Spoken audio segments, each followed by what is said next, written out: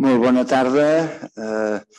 a tots els assistents, a totes les assistents o assistentes, no sé com s'hauria de dir, però bé, a tots i a totes que esteu aquí i moltes gràcies també en els que estan vinculats a través de l'ordinador, dels Zoom Rooms per atendre també en aquesta conferència, que sou molts. Els que esteu doncs, vinculats a l'ordinador, disculpeu el retras amb el que comencem. No ha sigut un retras de cortesia, la cortesia és dels que ens ho, ens ho accepteu, és perquè avui hem tingut el plaer d'inaugurar una exposició aquí al claustre de l'Institut d'Estudis Catalans de Barcelona sobre dones economistes. Una exposició que eh,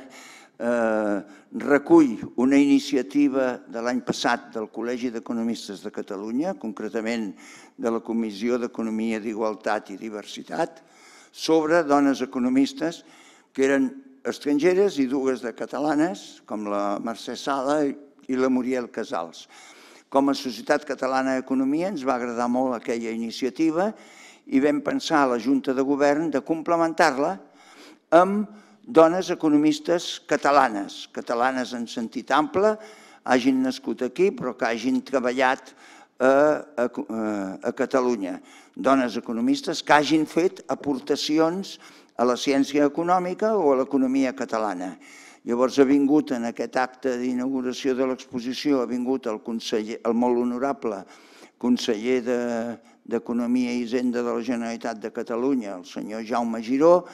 les intervencions s'han allargat una mica més del compte i, per tant, doncs, ens, us hem de demanar excuses que suposo que comprendreu. Els que sou a Catalunya o podeu venir a Barcelona, us diré que aquesta exposició, que conté doncs, 21 panells, 12 d'economistes catalanes i 9 o 10 d'economistes de fora de,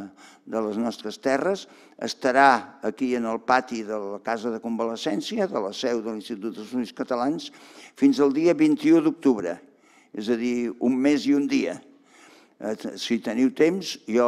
podeu passar per aquí o quan passeu per aquí, us ho aconsello perquè gaudireu d'una bona exposició de persones doncs, que han fet coses per l'economia catalana o per la ciència econòmica. No totes són d'origen economista. Sabem que els economistes a Catalunya, oi, doctor Tuores, són més aviat recents. Els estudis d'economia com a tal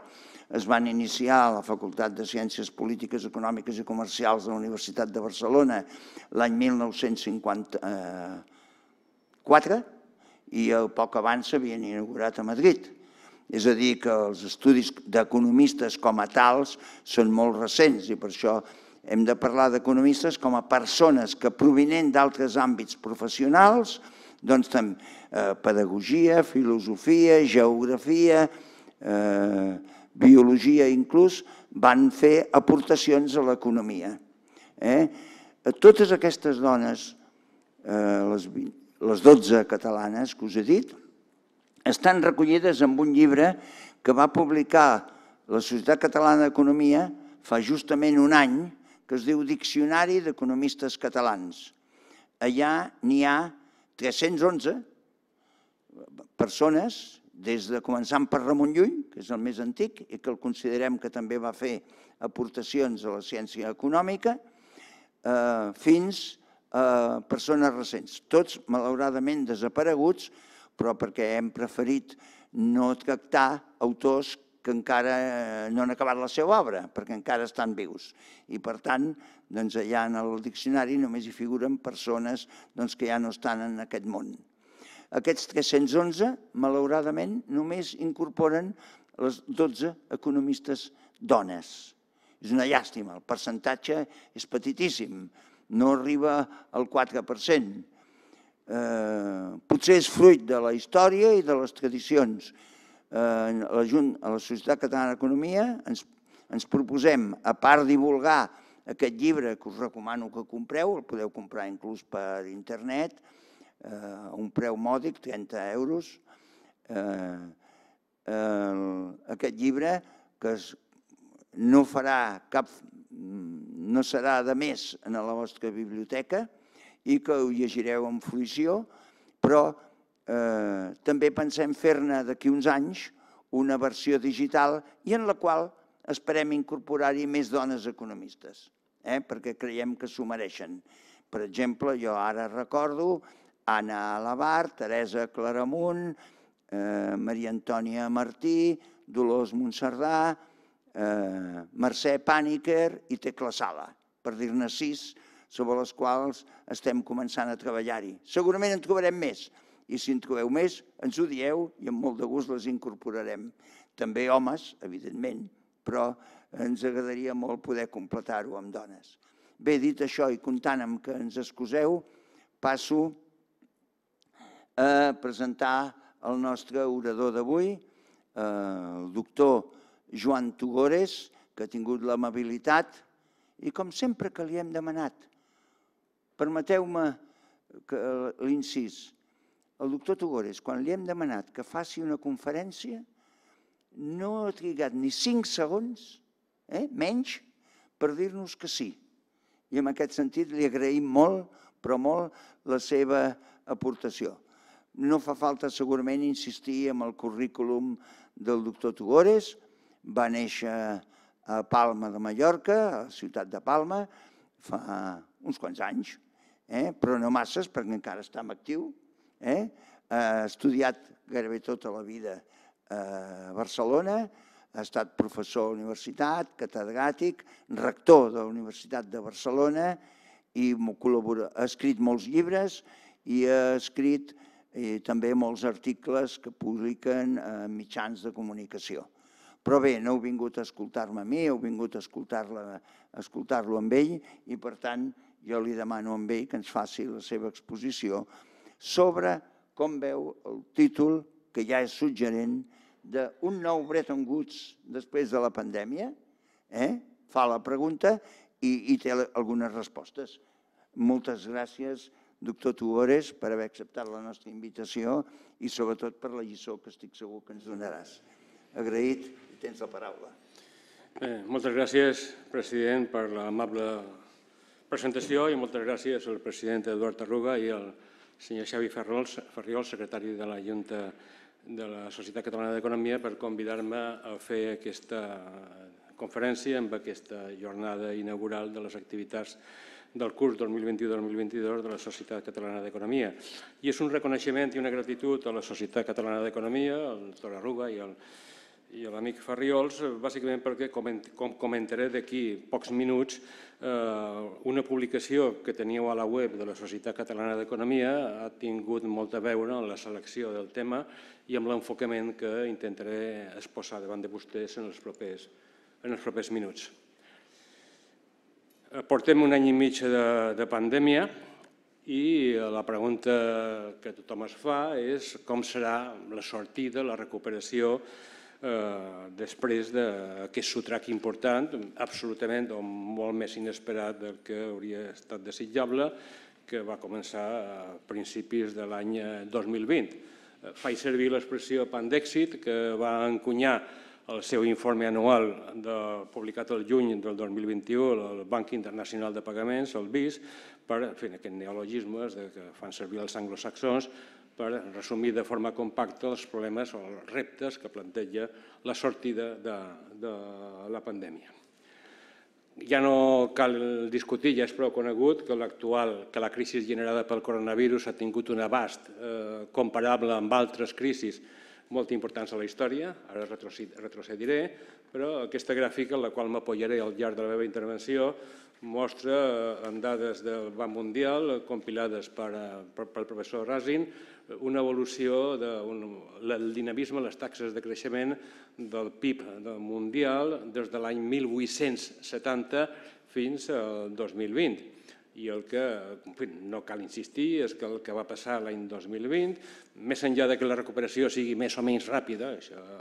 ja també en parlarem, però eh, el que, ha passat, que va passar l'any 2020, la magnitud del sotrac de la pandèmia va ser important i va ser un sotrac que venia en el temps, molt poc temps després, d'una altra convulsió important com va ser la gran crisi financera del 2008-2009, agreujada aquí a Europa amb la crisi del deute sobirà. Això de que les crisis de vegades van per parelles, bueno, aquesta gràfica he marcat aquests cercles, que potser és una interpretació Eh, no gaire científica, però mostra que altres episodis, si un mira a partir d'aquesta gràfica en quins altres moments de la història el PIB de l'economia global ha experimentat caigudes importants, ens trobem amb la crisi financera del 1907, que va afectar més als Estats Units que aquí a Europa, però que va tenir un abast important, seguida poc després de la gran caiguda associada, òbviament, a la Primera Guerra Mundial. Eh, formen una, una parella perillosa. Després van tenir el crac del 29, la Gran Depressió, seguida en el temps a poca distància per la Segona Guerra Mundial i recentment la nostra generació i fins i tot la gent relativament jove, la gent que va néixer a final del segle XX, principi del segle XXI, eh, nostres fills o els nostres nets, segons la generació, han tingut el dubtós privilegi de viure la crisi financera i la crisi del, del coronavirus. Per tant, primera reflexió, primera obvietat, pels que ens dediquem al món de l'economia, la crisi del coronavirus ha tingut un impacte equiparable a altres moments molt delicats històricament. Llavors, la, la, la pregunta seria, escolta, i per què després d'aquest sotrac que he marcat aquí en vermell, 1907 i sobretot la Primera Guerra Mundial, complicada, per la Spanish flu, la grip espanyola, com se li vulgui dir, una pandèmia que després que, ara ha, estat, ha tornat a estar de moda. Per què després de la Primera Guerra Mundial eh, varen tenir el que alguns s'anomenen els felices anys 20, que van durar poc, perquè quatre dies després ja teníem la Gran Depressió i la Segona Guerra Mundial, per què després d'aquesta primera onada que he marcat en vermell, la segona onada negativa va trigar tan poc a arribar, i, en canvi, perquè després de la Segona Guerra Mundial van tenir, òbviament, fluctuacions a l'economia, però amb un nivell promig molt més tranquil que en qualsevol moment eh, de la història eh, moderna, de la història dels darrers 150 anys i això ja dona una pista del que defensaré avui, i és que potser les regles del joc que es van establir a Bretton Woods, acompanyades en l'adopció de les polítiques macroeconòmiques keynesianes i a la incorporació de les receptes de l'estat del benestar proposat per Beveridge a Anglaterra i després difós a altres economies, primer occidentals i després a d'altres, perquè aquesta combinació de Bretton Woods més estat del benestar, més polítiques macroeconòmiques, va tenir molt a veure en què després de la Segona Guerra Mundial, almenys a nivell mundial, Espanya sortien de la Guerra Civil, les coses van ser més complicades, però a nivell mundial va tenir pràcticament 30 anys que alguns s'han anomenat de l'era daurada del capitalisme, amb les taxes de creixement més ràpids, no del segle XX, sinó segurament de la història de la humanitat. I llavors la pregunta de fons que hi ha darrere el plantejament que vull fer avui davant de vostès és si després d'aquesta onada de sotràs, crisi financera, i quan encara no ens havíem recuperat del tot la crisi del coronavirus, si després del que tenim ara, si la sortida de la pandèmia, el pan d'èxit, serà més semblant a la sortida decepcionant després de la Primera Guerra Mundial, o, si pel contrari, què podem fer per encarrilar una sortida més, eh, millor nivell de magnitud econòmica i amb més sostenibilitat i amb més, i amb més inclusivitat com la que va propiciar aquesta combinació de Bretton Woods, més estat del benestar, més polítiques macroeconòmiques. Per tant, bueno, la crisi actual ha tingut, té un abast històric i la qüestió és si sortirem d'ella amb un cert seny, com es va sortir al meu entendre, amb els acords de Bretton Woods, o si comet, tornarem a cometre els errors posteriors a la Primera Guerra Mundial. Bueno, òbviament això té discussions a curt termini, les perspectives de sortida, alguns diuen que ja tenim una recuperació important, aquest matí l'OCDE ha publicat dades optimistes però en cautela que revisen a l'alça les perspectives de creixement, també aquest matí el Banc d'Espanya ha publicat les projeccions macroeconòmiques per l'economia espanyola amb una revisió també lleugerament a l'alça, per tant alguns parlen dels nous feliços anys 20, però també es constata que el llegat de crisi financera de fa quatre dies i crisi del coronavirus ha deixat unes cicatrius que potser algunes costaran a curar del tot, per tant unes cicatrius duradores que poden mm, ser un llast per a aquesta recuperació sòlida, ràpida i sostenible que tots, eh, que tots voldríem. Des del punt de vista del que ja em dedico, que és bàsicament l'economia internacional, l'economia global, ens trobem en una situació paradoxal. I és que, d'una banda, constatem com eh, apareix els darrers temps, abans ja del coronavirus, una certa desconfiança envers dels mecanismes globals. Friccions, apareix el que Stiglitz va anomenar el malestar de la globalització, descontentament vinculat a desigualtats sociopolítiques, un repartiment de la riquesa i la renta percebut com injust. Per tant, hi ha hagut una certa desconfiança envers els mecanismes globals, plantejaments de tornar eh, donar més pes a les fronteres. Quan va arribar el coronavirus, al principi eh, va haver la preocupació de que si volies tenir accés a determinats medicaments els havies de tenir produïts a, prop a casa teva perquè si no, si no, no podies dependre de cadenes de subministrament que es veien tancats. Per tant, trobem un cert retrocés, retrocés a la confiança dels mecanismes globals, però això es contraposa a l'evidència de que hi ha dimensions de la globalització molt més enllà de les estrictament econòmiques que, que són inexorables. Els virus, de la, els virus del Covid han demostrat que els virus traspassen les fronteres sense demanar permís que la degradació del medi ambient també traspassa les fronteres sense demanar, demanar permís. I altres qüestions com els riscos de seguretat o els paradisos fiscals també contaminen un bon funcionament de l'economia global. Però, com eh, va dir Larry Summers, després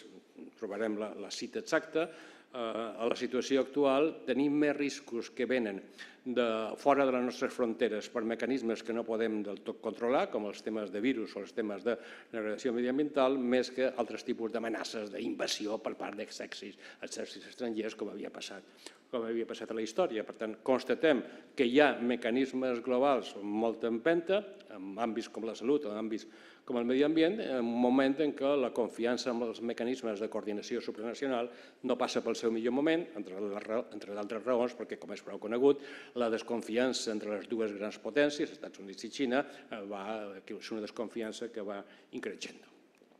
Enfront d'aquesta situació de que tenim problemes que traspassen les fronteres sense demanar permís com els virus i la degradació mediambiental i els ciberatacs, etc., assisteixen des de fa temps apel·lacions a necessitem nou, un nou contracte social, necessitem un nou New Deal, necessitem un nou Bretton Woods.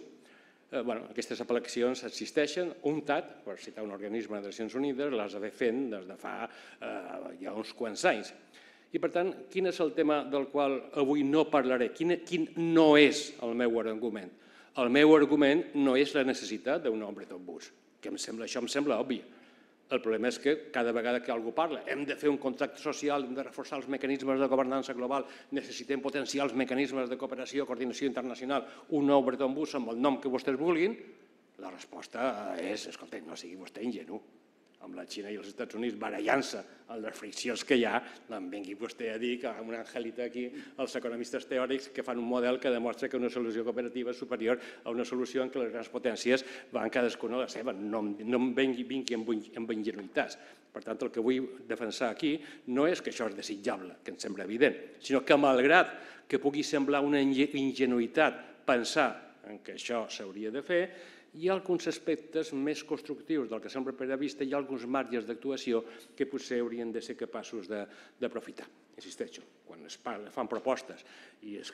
desqualifiquen com ingènues, eh, es parla de si els interessos contraposats o les tensions geopolítiques permeten que això sigui viable o no, i, així, i què serà primer el punt que voldria comentar amb vostès. Quins elements de viabilitat, més enllà de la desitjabilitat, existeixen i, òbviament, en un món de contraposicions geopolítiques i d'altres tensions, eh, aquestes vies d'un Bretton Woods haurien de tenir una creativitat que els hauria de fer doncs, amb algunes diferències, amb algunes especificitats que voldria comentar davant de vostès. Quines són les meves fonts d'inspiració per les idees que es posaré a continuació? D'una banda, un, alguns documents presentats per el Dani Rodric, en particular un document publicat aquest any 2021 en què defensen eh, la necessitat d'un metaordre, d'aquí un moment comentarem què vol dir això, idees també d'un economista molt important, relativament encara jove però molt eh, en ascens, que crec que serà Premi Nobel juntament amb Rodri qualsevol dia d'aquests, que serà el Daron Acemoglu, eh, que ha defensat la necessitat d'un nou estat de la benestar 3.0 adequat a les circumstàncies actuals i aquí torno al meu agraïment a la Societat Catalana d'Economia, el que vaig descobrir fa un any i mig del document de Vidal i Guardiola, un document de Vidal i Guardiola, que són uns comentaris sobre com es va gestar, com es varen gestar els acords de la conferència de Bretton Woods, un document redactat el 1944 i publicat formalment el 45, però va ser redactat en calent l'any 44 i que fa un any i mig eh, l'amic Farriol se'n va fer arribar, i recordo el dia, perquè va ser el 12 de març de l'any 2020 i dos dies després estaven tots tancats. Per tant, em vares dir, escolta, t'interessaria aquest document el dia 12? Jo vaig dir que sí, el dia 13 m'ho enviaves i he tingut un any i mig per la tranquil·litat del tancament de la pandèmia per, eh, per, eh, per estudiar-lo. Ho vaig fer ràpidament perquè em va, em va enganxar molt ràpidament i ara tenen vostès a la web de la Societat Catalana d'Economia, a, a la banda dreta a sota, textos retrobats, el document de Vidal i Guardiola, eh, una crònica quasi en temps real de com es va arribar als acords de Bretton Woods, eh, comentat per cinc economistes eh, del país, entre els quals també pues, agraeixo la possibilitat d'afegir unes, unes breus notes de comentari amb altres destacats, amb altres destacats companys, alguns dels quals també es troba aquí a la sala. Per tant, aquesta crònica en temps real contemporània de Vidal i Guardiola per mi ha sigut molt important a l'hora d'intentar argumentar que, eh, malgrat la situació o les possibilitats d'èxit d'un acord de governança global puguin semblar complicades, hi ha marges d'actuació que, si es fan les coses bé, es poden fer, es poden, es poden anar avançant. De fet, el Vidal i Guardiola mateix reconeixia que l'acord de Bretton Woods havia sortit per los pelos, explica, insisteixo, ara que farem alguns detalls de com va ser llestat l'acord del Bretton Woods originals, però al final eh, va ser, ell escriu el seu informe quan l'acord ja està tancat, però encara no està ratificat pels diferents països. I si no el ratificava el 80% de països, la qual cosa volia dir si no el ratificava els Estats Units, no entrava en vigor. I a la part final hi ha un apèndix del Vidal Guardiola que diu que hi ha una pugna d'interessos i unes complicacions geopolítiques. Ell fa servir l'expressió hi ha interessos violentament contraposats que poden bloquejar la ratificació i ell acaba dient que hi ha, ell estima que hi ha un 40% de probabilitat de que es ratifiqui per part del Congrés dels Estats Units l'acord del Fons Monetari i només un 15% de probabilitats de que es ratifiqui l'acord del Banc Mundial. I per tant, fins i tot a la part final del, del test de, de, de, Vidal i Guardiola expressa el seu escepticisme de que els interessos violentament contraposats que hi havia a la geopolítica del moment podien bloquejar l'aprovació d'aquest acord, que al final es va ratificar, va entrar en vigor i va contribuir, malgrat algunes crítiques i deficiències a l'època de creixement més ràpid de la història de, de la història de la humanitat. Bueno, el PowerPoint havia posat una referència a temes més conjunturals, aquest debat sobre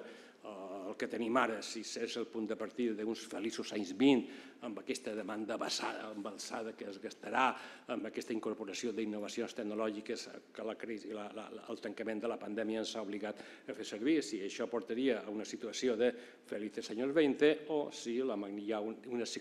cicatrius duradores, com increments de les desigualtats que també van incrementar després de la Primera Guerra Mundial, o mm, unes polítiques expansives amb la qual els recursos gegantins que posen els governs a disposició de les societats acaben sent capturats potser per lobbies poderosos, produint aquesta zombificació de les economies per les quals, dels quals també algun, algun es parla. Però no voldria parlar avui de temes conjunturals, sinó una mica unes reflexions d'un abast més ampli.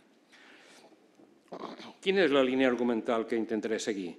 Eh, per justificar tot això que he dit que pretenia, que pretenia exposar davant de vostès. És també una lliçó de la història, que es desprèn de la gràfica que veiem abans. I és que després dels moments de crisi, després del moment de crisi, per exemple, després de moments de crisi, de vegades es surt de les crisis en fals. Es surt de les crisis en fals sense reconèixer quines eren les raons que ens van emportar a la crisi i si no reconeix les raons no posa remei i qui no coneix la història està condemnat a repetir-la. I per mi un cas claríssim d'aquesta sortida en fals d'una situació molt delicada va ser el que va passar després de la Primera Guerra Mundial avui és prou conegut que el Tractat de Versalles de 1919, que en teoria havia de servir per tancar les ferides de la Primera Guerra Mundial, no les va tancar. Ben al contrari, les va, les va reforçar. És prou conegut, però cal insistir, que un jove, John Maynard Keynes, que formava part de la delegació britànica, va dimitir i publicar un llibre, Les conseqüències econòmiques de la pau, dient que el Tractat de Versalles ens portaria a una nova guerra mundial. I lamentablement en Keynes va tenir, en Keynes va tenir raó. Per tant, de vegades de les crisis es surt en fals quan no hi ha realisme, quan no hi ha pragmatisme, quan no hi ha voluntat de sanar les ferides i construir una recuperació sòlida, sostenible, ben encarrilada. I el que va passar després de la Primera Guerra Mundial és l'exemple del que caldria evitar, si vostès volen, el contraexemple del que eh, va ser Bretton Woods, del que jo defensaré avui, que hauria de ser la sortida de la pandèmia. És una discussió que ha quedat inacabada, però després de 2008-2009 varen tenir la mateixa discussió. A partir de l'any 2012, 2013, 2014 varen començar a sortir avaluacions de com estaven sortint de la crisi i alguns deien, en cofuisme, eh, la recuperació ja està encarregada, eh, hem superat el pitjor, però altres deien, escolta, mm, la crisi financera va sortir, es va generar per un endeutament excessiu i està molt volvint les andades, i el que està passant a Xina aquest dia se'ns recorda que el tema de l'endeutament encara en alguns llocs encara l'addicció a l'endeutament encara no és una malaltia que no s'ha curat i també alguns diuen, com l'antic economista en cap del Fons Monetari, Raghuram Rayam, que els increments de desigualtat varen contribuir a la crisi financera perquè la manca d'augment dels salaris reals es va intentar compensar políticament amb més facilitat creditícies, eh, induint a la gent a endeutar-se i, per tant, el tema de la desigualtat té a veure amb fragilitats financeres. A la segona, després de la crisi financera, l'endeutament va tornar a pujar ràpidament, les desigualtats es van agreujar i, per tant, abans de la pandèmia ja alguns pensaven que potser la sortida de la crisi financera semblava més del que seria desitjable a la, a la sortida insensata de la Primera Guerra Mundial, però bueno, això avui no toca. Aquí tenen vostès una imatge clàssica del Tractat de Versalles, signat al, al Saló dels Miralls del Palau de, del Palau de Versalles, i he posat aquesta gràfica, entre altres raons, per connectar amb l'exposició que hem inaugurat fa moments, perquè la presència femenina és manifestament mejorable. De fet, és una, és una unanimitat en, a, a, de, de gènere. Bé, la gran, segona la Gran Depressió, alguns intents d'arribar a un cert acord, la Conferència de Londres de 1933, oblidada, l'intent de Conferència de Londres de 1933 per una sortida coordinada de la crisi. És una conferència important, va fracassar, però eh, un economista, el John Maynard Keynes, va presentar algunes propostes que després va portar a Bretton Woods. I a Bretton Woods van sortir una sèrie de propostes interessants. Aquí he posat aquesta foto perquè vegin que en comparació amb la foto anterior eh, no hi ha unanimitat de sexe, hi ha una senyora aquí, només una. El llistat de delegades al llistat de delegades, de, de delegats i delegades de la conferència de Bretton Woods només hi ha una dona, poc coneguda, no l'he vist a l'exposició, president, i això s'hauria d'arreglar, perquè aquesta senyora, aquesta senyora que tenen aquí, eh, va ser més important del que sembla, mm, no per Bretton Woods, per nosaltres els europeus. La senyora que surt aquí, que forma part de la Galícia nord-americana, és la Eleanor Lansing Dulles, Dulles. És conegut el seu germà, que va ser secretari d'Estat, eh, és conegut el seu altre germà, que va ser el director de la CIA, que va haver de dimitir després del fiasco de la Bahia de los Cochinos, però la senyora Lansing Dulles eh, eh, mereix més atenció, perquè ella va tenir una formació diguem, de grau en Ciències Socials, després va fer un doctorat en Economia, i va començar a treballar a l'administració dels Estats Units, a la conferència de Bretton Woods, portava dos o tres anys treballant al Departament d'Estat i s'havia especialitzat en temes d'economia europea. Per tant, va, va, va ser una mica la, el punt de vista dels problemes europeus des de l'administració dels Estats Units. I quan va acabar la Segona Guerra Mundial, el Departament d'Estat la va enviar a Europa, primer a Àustria i després sobretot a Alemanya, i Alemanya va fer una feina molt ben reconeguda, molt reconeguda en el seu moment, bàsicament per aconseguir una modernització i un una dinamització de l'economia alemanya en general i de l'economia de Berlín en particular. No? Per tant, ha estat una dona important, un, un doctorat en economia i potser pues, alguna propera edició d'aquestes exposicions eh, mereixeria un cert reconeixement perquè per la història de la reconstrucció eh, d'Europa després de la Segona Guerra Mundial, aquesta, la senyora Dios... Gràcies. Eh, aquesta senyora va ser, va ser, va ser important. Bueno, jo estic defensant que després de la, de la Segona Guerra Mundial, la, després de la Gran Depressió i la Segona Guerra Mundial, després de la crisi, les sortides de vegades són més assenyades. De fet, el que defensaré amb el, aquesta intervenció és que per sortir de la pandèmia hauríem d'inspirar-nos amb alguns principis de la, de la, dels que van fer servir a Bretton Woods, adequats a la situació geopolítica actual, I per mi el cas d'èxit és de, una sortida assenyada de la crisi és precisament la conferència de Bretton Woods, aquesta combinació de unes regles internacionals mm, pragmàtiques,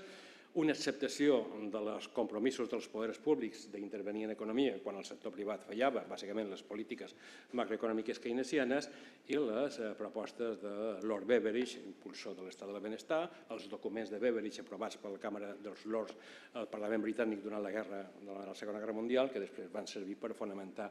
l'estat del, del benestar. I quin, quin va ser el tret diferencial de, entre, el tret diferencial entre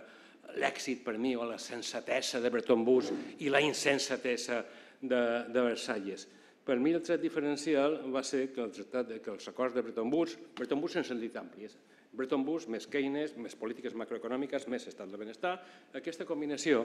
va ser capaç de trobar el que a mi m'agrada anomenar equilibris, equilibris raonables. Equilibris raonables entre el que s'havia de fer a nivell nacional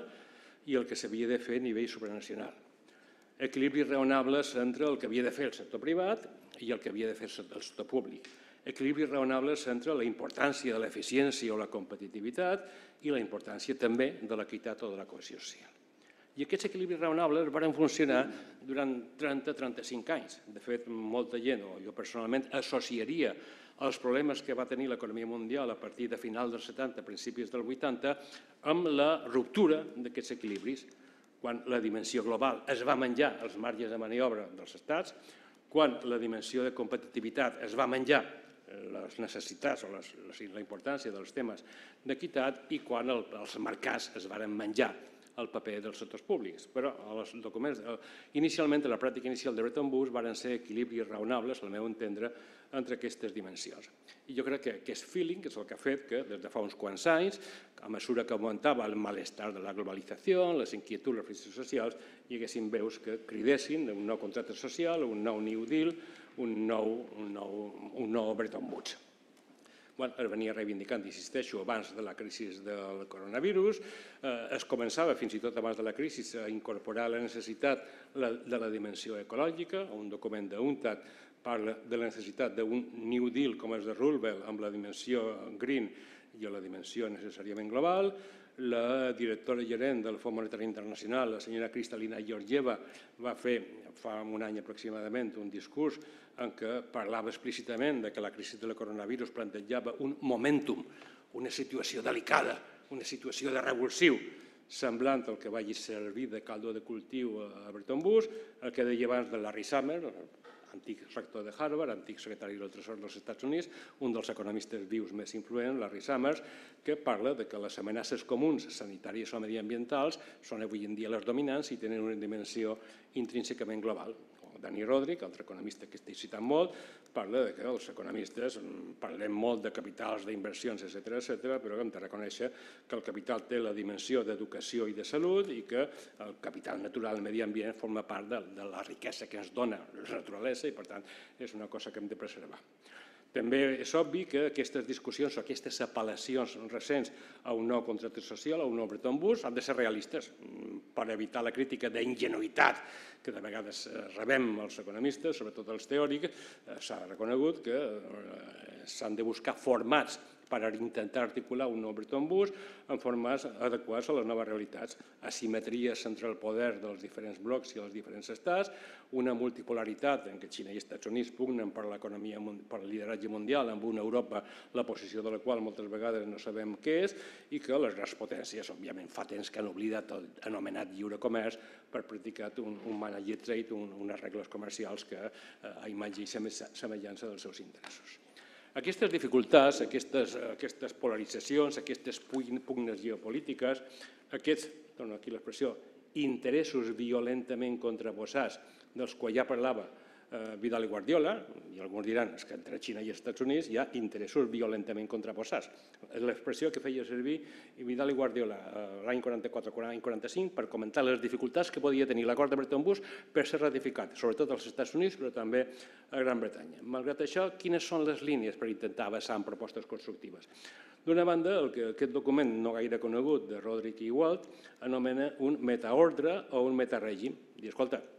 potser Xina i Estats Units no es posaran d'acord fàcilment en molts temes perquè els seus interessos són violentament contraposats, però mm, si podem, si s'haurien d'establir un marc de mínims, un marc de mínims, per fer servir una expressió que m'agrada molt a qualsevol procés de negociació, limitar l'abast dels desacords. No ens podem posar d'acord amb això, això, no ens podem posar d'acord, vale. però mantenim vies de comunicació per parlar en claretat dels desacords, per clarificar l'abast dels desacords i, sobretot, que aquests desacords explicitats han de deixar la porta oberta a acords, per parcials que siguin, de suma positiva. L'economia, en darrera instància, és la búsqueda de llocs de suma positiva. Les guerres són llocs de suma negativa. Una partida de pòquer és un lloc de suma zero l'economia, el comerç, els intercanvis, els negocis, la vida econòmica són jocs de suma positiva, jocs de suma positiva, buscar formulacions en què tu guanyes i jo guanyo perquè hi ha interessos, contrapos, interessos complementaris en alguns àmbits. Escolta, que en altres àmbits tenim interessos contraposats, violentament contraposats. Hem de, hauríem de tenir el seny, segons aquesta doctrina o plantejament del metaordre, de separar el que són els desacords profuns, que explicitem i que ens comuniquem, però això no hauria d'afectar a la possibilitat de trobar acords en aspectes puntuals, aspectes importants en què tots podem, tots podem sortir guanyant. Per exemple, normes internacionals per la provisió de vacunes o, per exemple, normes internacionals per limitar de manera efectiva la degradació del medi ambient o, per exemple, normes internacionals per paràmetres mínims de, mínims de fiscalitat que permetin que tots els sectors públics de tots els països del món tinguin eh, accés a uns recursos especialment necessaris en situació com les actuals. Per tant, aquesta idea de metaordre o de metarègim em sembla una idea que hauríem de limitar perquè de vegades tenim la percepció de que les, les conflictes són guerra total. Com no estem d'acord amb això, serem autodestructius en tota la resta. No, Bretton Woods va haver interessos violentament contraposats i al final sectors més pragmàtics van ser capaços de mantenir la porta oberta a acords de, sumes, de, acords de suma positiva. A la línia, l'exemple que donava abans de trobar equilibris raonables és eh, això, trobar equilibris raonables, com es va aconseguir a, a Woods. El test de Vidal i Guardiola, el que tenen a la web de la Societat Catalana d'Economia, ho explica de forma molt clara, ho explica de forma molt clar aquestes reduïdes possibilitats d'acords i ratificació perquè eh, durant les negociacions eh, hi havia inicialment posicions molt eh, oposades. Eh, de fet, hi ha una part inicial del document de Vidal i Guardiola que explica quins van ser els primers documents que es van presentar per part dels Estats Units i per part dels britànics, és a dir, per part de Keynes, eh, per treballar. I eh, bueno, mm, per part de Keynes, de vegades, i fins i tot també del, del govern britànic els documents, hi havia algun document britànic que deia que el dret de vot al futur fons monetari s'havien de basar amb els percentatges de comerç internacional dels darrers 30 anys per garantir que el Regne Unit, el Gran Bretanya llavors, tingués més pes que els Estats Units, cosa políticament impossible. I hi havia algunes posicions, sobretot dels banquers dels Estats Units, que haurien volgut un nou Versalles, cobrar fins al darrer centavo dels diners que s'havia deixat als aliats i tal, repetint els errors de les reparacions impagables eh, tal, eh, i unes sancions a la mà. Per tant, les posicions inicials eren realment difícils de conciliar. Què va passar? Que en el transcurs de les negociacions, persones hàbils, com Harry White, el secretari del Tresor, eh, Morgenthau, i en darrera instància el propi Roosevelt,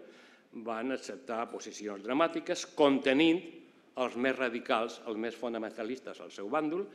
i Keynes, amb la seva autoritat intel·lectual, també va contenir els, les, les visions més imperials, passades de moda, dels britànics i va ser possible trobar un acord perquè els sectors més pragmàtics de cada un dels grans dels parts amb, violents, eh, amb interessos violentament contraposats, els sectors més pragmàtics, més moderats, més raonables, van ser capaços de contenir els seus respectius sectors més radicals, cosa que no estava segur el Vidal i Guardiola que això fos possible, però la història de les negociacions de Bretton Woods és una història fascinant de com es van apropant, apropant les postures amb els pragmàtics, fent, de vegades era, era més difícil negociar entre els britànics i els Estats Units que negociar entre els Estats Units i amb els seus interessos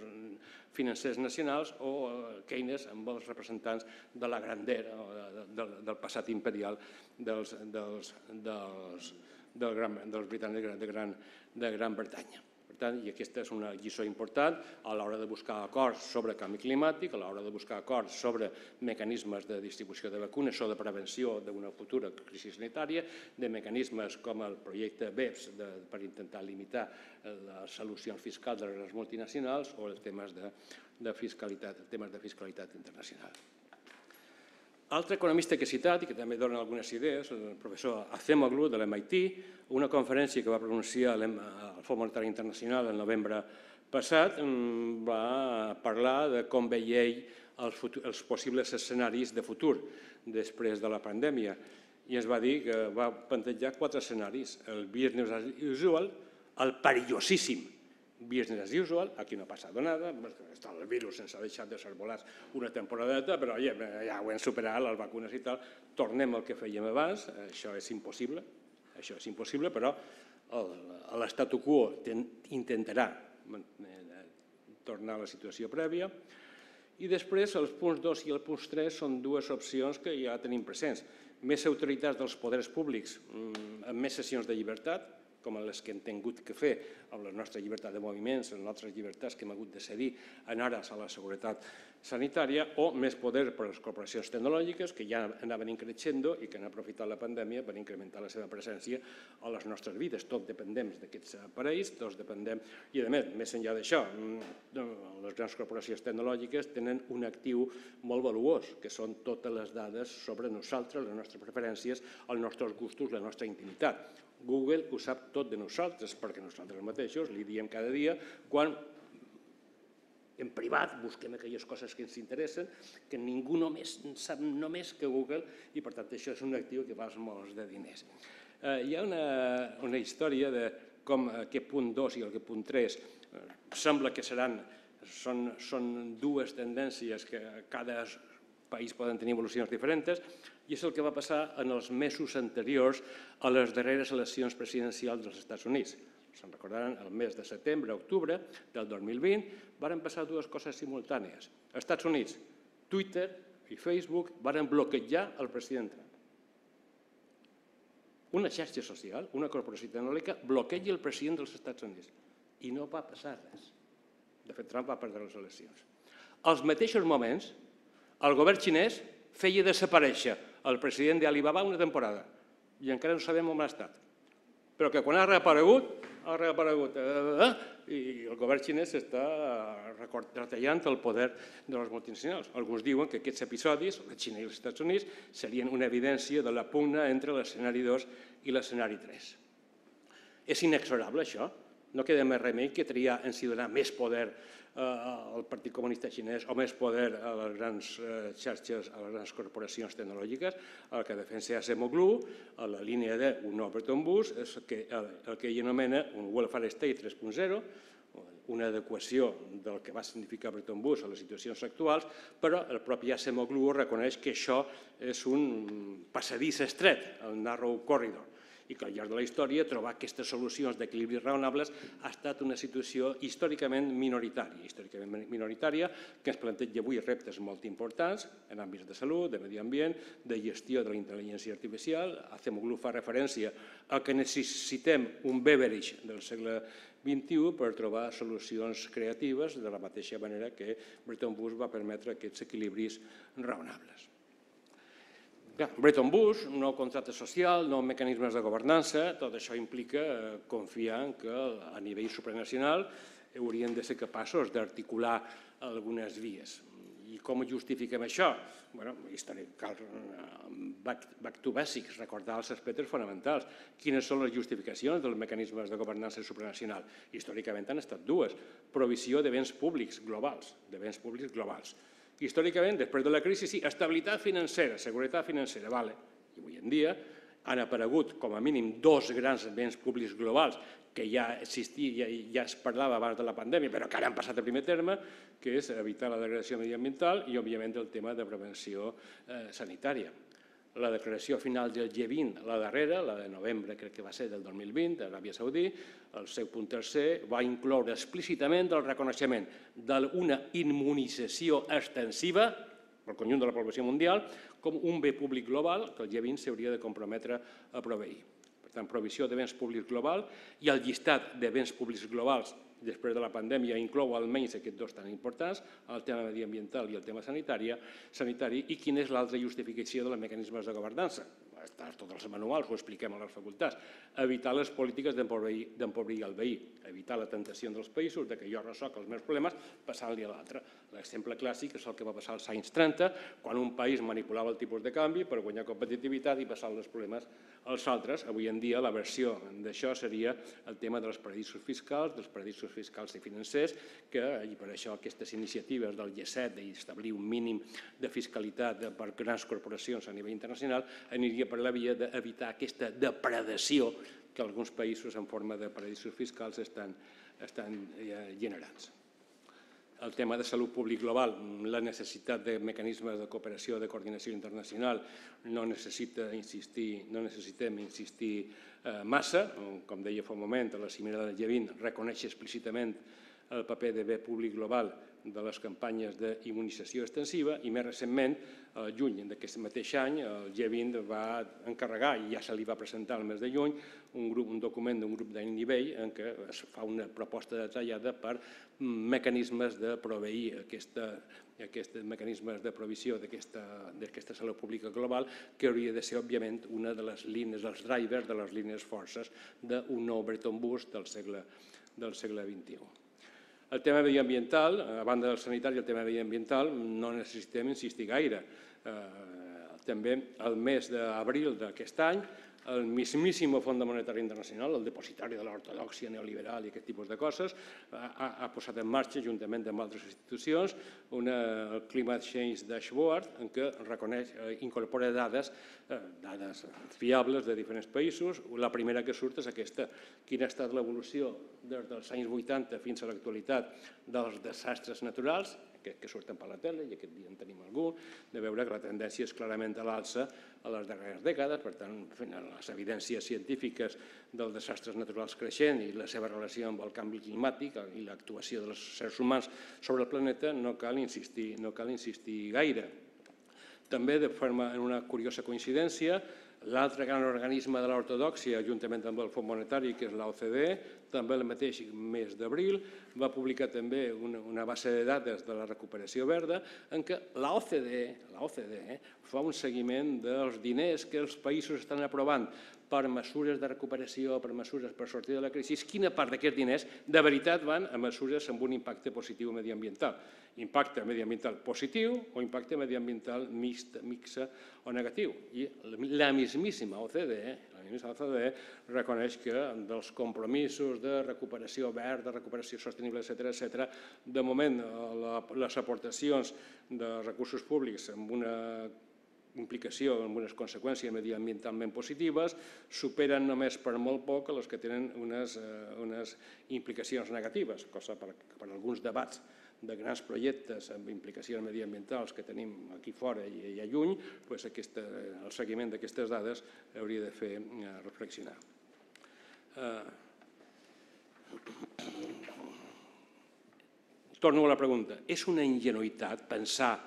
que malgrat que hi hagi grans discrepàncies geopolítiques, que malgrat que hi hagi violent, interessos violentament contraposats, per citar per enèsima vegada la frase de Vidal Guardiola, és una, és una ingenuïtat pensar que si som capaços de limitar els desacords podem trobar acords positius de suma, zero, de suma positiva en alguns àmbits. Volent ser positiu, he trobat aquí alguns, poso aquí alguns exemples. Un que ha quedat oblidat, Tothom sap que l'any 2018 els Estats Units i la Xina van començar una guerra comercial, que els arancels van passar d'un promit del 3 a un promit del 25 en 10 minuts, en poc temps. El que la pandèmia ha tapat és que el mes de gener del 2020 quan es començava a parlar de que a Xina arriben unes coses, passen coses rares i que arribaven a Itàlia i, i, i, bueno, i no passaria res perquè un o dos casos, ja se sap, això no tindrà més importància, bueno, al gener del 2020 Xina, Estats Units i la Xina van firmar un acord treva, l'acord de fase 1,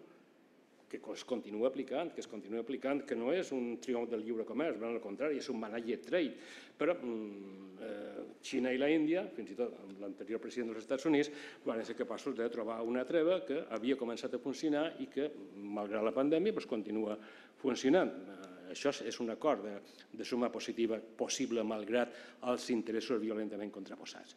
A nivell més proper a nosaltres, aquí a Europa, el juny del 2021, els Estats Units i la Unió Europea han, han arribat a un acord treva per aturar més de 20 anys de conflictes entre Boeing i Airbus. Això era inimaginable fa 3 o 4 anys. Bueno, és un joc de suma positiva pels europeus i pels nord-americans que evidencia que, que hi ha una, una via. Al juliol del 2021, l'OCDE, després de rebre la benedicció del G7 i del G20, ja ha publicat un document formal amb les propostes per superar els problemes d'evasió o il·lusió fiscal que genera la digitalització de l'economia,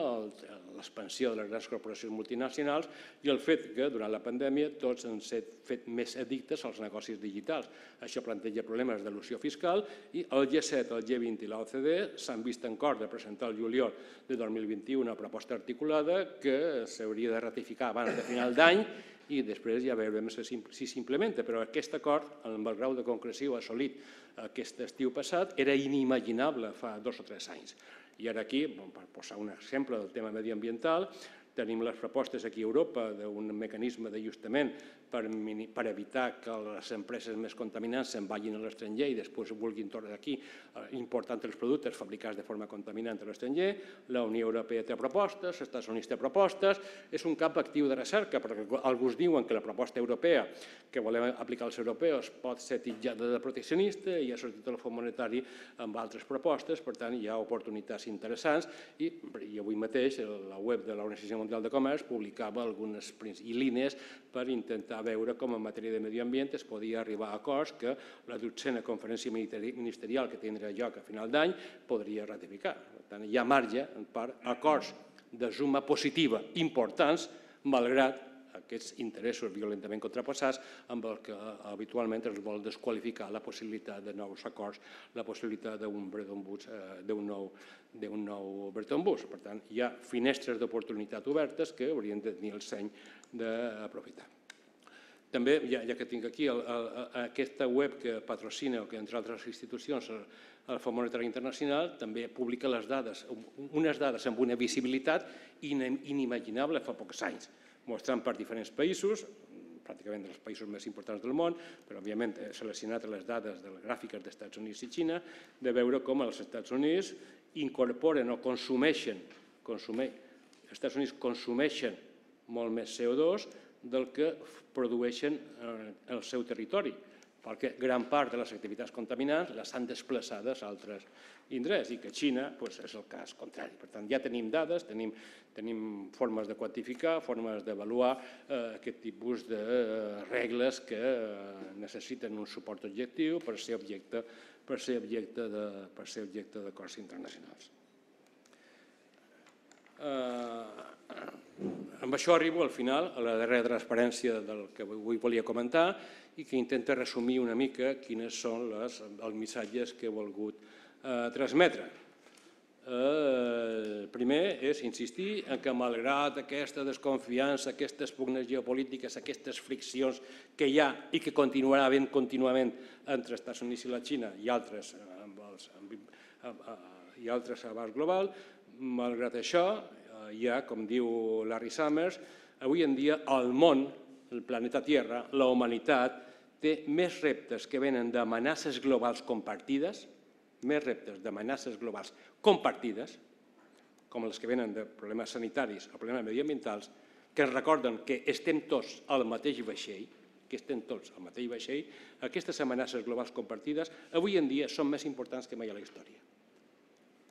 més que les tradicionals invasions de potències estrangeres que al llarg de la història eren l'amenaça per la sobirania dels territoris. Els Estats Units invairà Xina, ni Xina invairà els Estats Units. Molt més important pel present, a curt termini i a mig termini i llarg termini de la humanitat és si juntem les nostres forces per reconèixer que eh, estem tots al mateix vaixell a l'hora de fer front d'aquestes eh, amenaces globals compartides. I això requereix un Bretton Woods 3, mecanismes oberts de cooperació en seu de la Societat Catalana d'Economia, amb un públic, pel que veig, majoritàriament companys de professió, m'agrada recordar que l'economia per mi es defineix com un joc de suma positiva. L'economia és l'art de trobar solucions en què tothom pugui guanyar. Ricardo va passar a la posteritat perquè va demostrar a principis del segle XIX que el comerç internacional podia portar beneficis per tots els participants. Eh, el país, eh, Catalunya, amb una tradició comercial i industrial, sabem que la generació de riquesa permet anar progressant el conjunt del país. Per tant, l'economia és buscar solucions de, de suma positiva. De vegades, el mateix Larry Summers, eh, abans de ser secretari del Tresor, de vegades havia parlat de que la diferència entre un economista i un polític és que un economista busca llocs de suma positiva i un polític li agraden els jocs de suma zero. Jo t'he de guanyar tu, jo vull guanyar i perquè jo guanyi tu has de perdre. Xina vol manar i perquè Xina mani, els Estats Units ha de perdre la potència hegemònica. Bueno, doncs el paper que tenim, la responsabilitat que tenim, en aquest cas corporativament o, o professionalment els economistes, és potenciar, malgrat els interessos violentament contraposats que als polítics els hi agrada exhibir perquè viuen d'això, doncs els economistes tenim la responsabilitat de buscar solucions que siguin jocs de suma positiva amb acords com els exemples que donava fa un moment o molts d'altres que són teòricament possibles. I per això què cal? El que es desprèn de la crònica de Vidal i Guardiola de la, de la negociació de Bretton Woods és la necessitat de buscar equilibris raonables. I per buscar equilibris raonables necessitem que cadascun dels grans sectors negociadors, les, les posicions més pragmàtiques, eh, siguin, eh, tinguin dominància sobre les posicions més radicals o més fonamentalistes. Això és el que va permetre en darrera instància que sortís bé Bretton Woods. I que no passés això és el que va fer que Versalles sortís malament. A la conferència de Versalles van guanyar els sectors més radicals, el band dels guanyadors, i els perdedors no van dir res perquè no tenien res a dir. Bastant, eh, però eh, Versalles va ser un fracàs perquè van guanyar els fonamentalistes, Bretton Woods va ser un èxit perquè van guanyar els pragmàtics, malgrat ser de vegades insultats i criticats pels seus propis, malgrat rebre foc amic. Eh? Keynes va rebre foc amic a Gran Bretanya. White, Morgenthau o Roosevelt van rebre foc amic. De fet, eh, dels Estats Units. De fet, si a les eleccions del 44 no hagués guanyat Roosevelt, segurament l'acord de Bretton Woods no s'hauria ratificat perquè, i, digue, i llavors el missatge de Trump no hauria hagut d'esperar el 2016. L'any 44, si hagués guanyat l'altre candidat que va fer propaganda electoral dient que no ratificaria Bretton Woods perquè era una sessió impensable, inimaginable de sobirania dels Estats Units, segurament la història hauria estat una altra. Per tant, la diferència entre sortir de les crisis en insensatesa sortir en seny és que el disseny de la sortida la facin els sectors més pragmàtics i els sectors més fonamentalistes. I per acabar una frase que cada vegada que tinc davant un micro aprofito per repetir. I és que el senyor Jan Monet, un dels pares de la integració europea, com tots, com tots saben, quan al principi algun deia que això de la integració europea seria impossible perquè eh, hi havia moltes contradiccions internes i que això ens portaria de crisi en crisi i, i de disgust en disgust i tal, el Monnet sempre repetia el mateix. Eh, el que sigui la Unió Europea serà el resultat, no, no s'assolirà evitant les crisis, sinó superant les crisis. I deia Jan Monet, les respostes a les crisis són les que conformen el futur. Permetin acabar dient que això és veritat per Europa, ho hem demostrat a la història, però també és veritat pel món. El que sigui l'evolució de la humanitat, el que sigui el futur de la humanitat, no només en l'economia, sinó també en el medi ambient, la salut global, etc etc. el que sigui el futur de la humanitat dependrà de la forma en què responguem a les crisis i he fet un al·legat per intentar una crida al seny, una, una, una crida al pragmatisme per intentar articular un nou Bretton Woods en lloc de tornar a cometre l'error d'un nou Versalles que seria catastròfic per l'espècie humana. Moltes gràcies.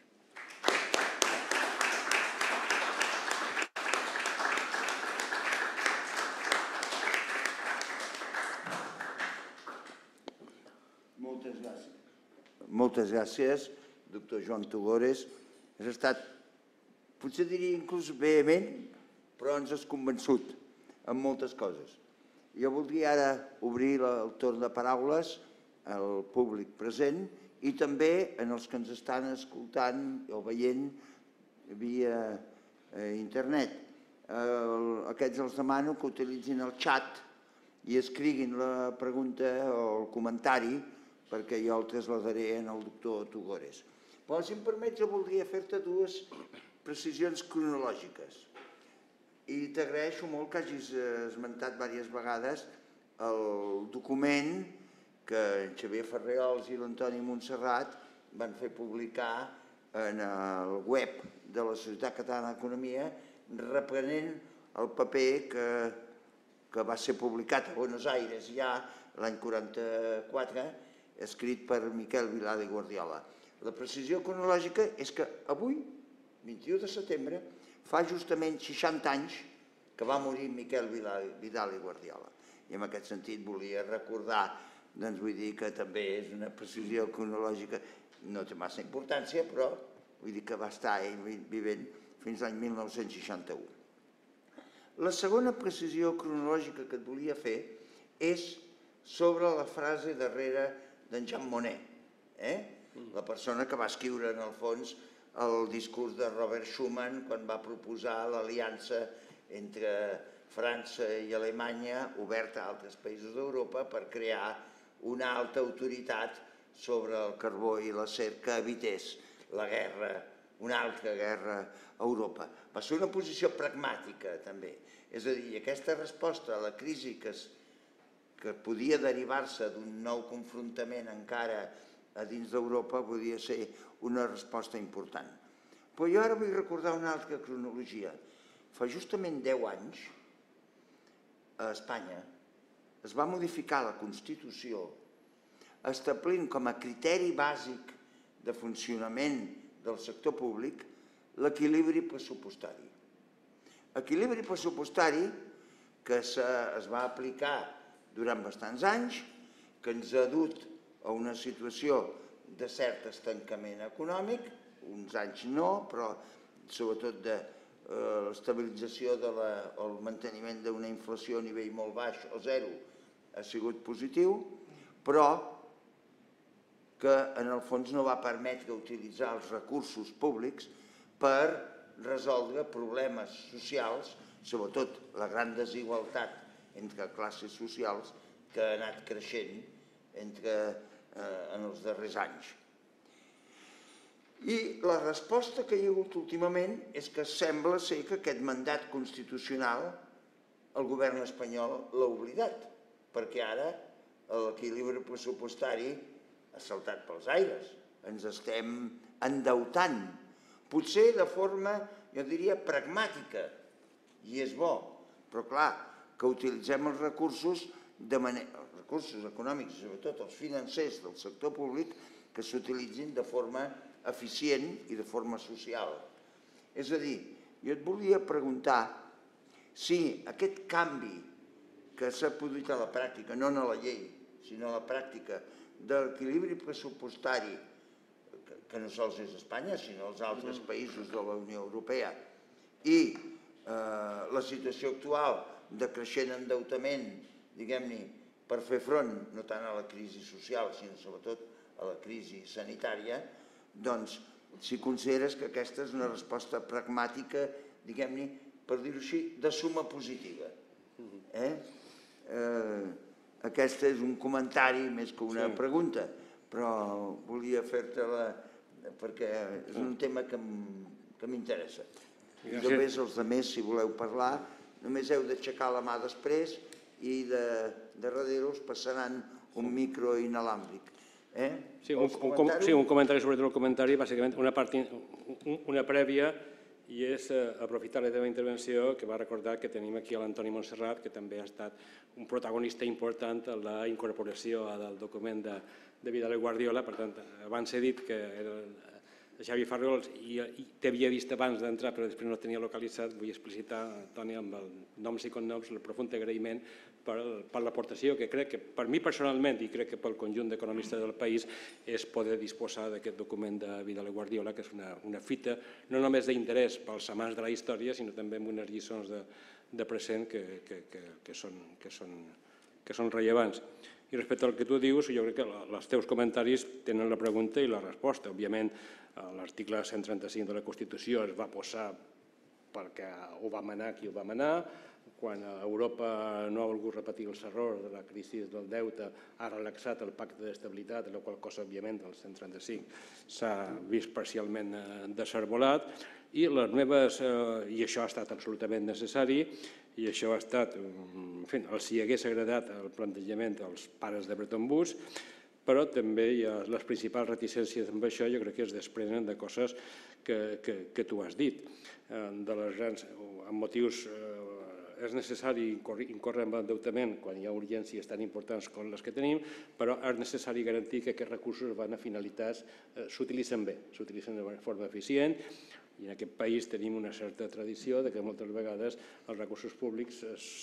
van a utilitzacions que no són ni les òptimes socialment ni les òptimes segons cap criteri. Com a més aquí tenim no només recursos del deute públic espanyol, sinó els recursos que venen del Next Generation, dels programes europeus, doncs també és necessari que s'han posat moltes esperances en la utilització que es dona d'aquests recursos. A mi m'agradaria estar més, més segur del que estic de que la utilització d'aquest volum de recursos propis i que venen de la Unió Europea eh, es fa d'una forma òptima, cosa que no estic del tot convençut. Per tant, que és una, és una, un, és una plantejament de la direcció correcta. Segon, però com sempre, com diuen els anglesos, els britànics, el dimoni està a la lletra petita i la utilització concreta moltes vegades, quan passem, fem més repart de la història, ens queixarem de que potser no vàrem aprofitar aquests recursos de la forma eh, socialment òptima. Gràcies. Hi havia primer una pregunta allà, després Anton Gasol, tercer allà. Bueno, en primer lloc, moltíssimes gràcies per la xerrada. I la pregunta és fàcil. Eh, en un escenari com l'actual, que podríem dir un escenari Tucídides, o en termes més actuals, un escenari AUKUS, eh, uns mecanismes de governança global que englobin a tots els països del món possiblement seran difícils. La pregunta és, quina probabilitat hi ha d'aconseguir coalicions de complidors enfront de cada bé públic global? Una coalició de complidors en relació a escalfament global, emissions de CO2, tarifes al carbó, eh, etc. Una coalició de complidors en relació pues, a la preparació per la propera pandèmia, una coalició de complidors, etc. Què vol dir? Mm. Eh, qui no pertany al club? Aquell que no compleix i queda fora. Però no necessàriament les coalicions haurien de ser les mateixes. Té algun sentit això? Bueno, vostè ha dit que la pregunta era fàcil, però la resposta és difícil. La... No, jo crec que és una idea atractiva, és una idea atractiva i, de fet, s'ha fet servir, per exemple, a l'hora de buscar mecanismes eh, que facin ús de mecanismes del comerç internacional per evitar la degradació mediambiental. Algú ha dit, escolta, només aquells països que es comprometin a determinades polítiques que els seus productes siguin acceptats al comerç internacional per part dels altres membres del club sense aquests ajustos en frontera que volen impedir eh, posició, plantejaments oportunistes. Per tant, és una idea que ja s'ha llançat i que jo crec que té un cert un cert recorregut. Eh, quin és el problema? El problema és eh, bueno, l'àmbit comercial, que això portaria que els països exclosos denunciarien a l'OMC o a qui fos que és un mecanisme proteccionista, per tant, la dotzena conferència ministerial hauria de clarificar aquesta situació per permetre aquest tipus de clubs de complidors, vostè diu coalicions, club de complidors, en matèria sanitària, la veritat és que és una mica més complicat perquè el dret a la salut, el dret a la vacunació, hauria de ser una, un dret absolutament universal i és difícil excloure un país perquè no ha vacunat a tots els seus membres, però es poden buscar fórmules que el missatge que es destili sigui aquest, només aquells països que s'impliquin en una certa efectivitat en la provisió, en contribuir la part alíquota que els toca a la provisió d'aquests béns públics, haurien de tenir alguns privilegis i això hauria de ser l'incentiu, eh, la zanahòria,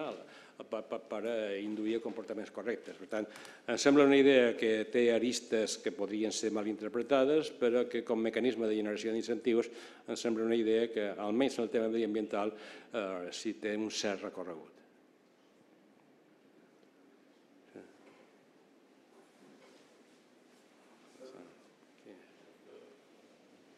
Sí, eh,